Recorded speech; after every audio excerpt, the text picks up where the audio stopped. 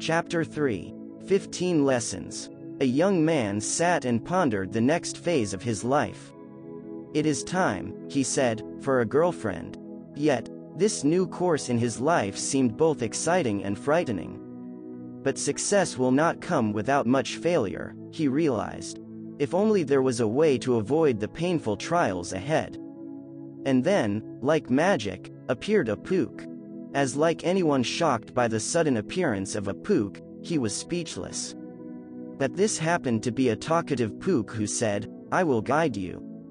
The constant heartbreak, the loneliness, the feeling of having no control these can be avoided.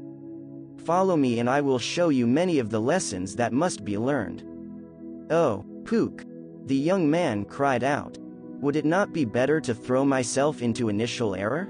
Is not error the best way to success? No. Your heart does not need to be shattered to realize its lessons.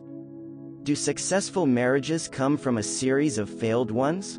Of course not. 4. Foresight teaches gently, error teaches brutally. With that, the young man asked, And what is the first lesson? The Pook replied, Follow and see. Thus, the young man followed Pook to a nearby college campus. Pook then said, Behold, the first example.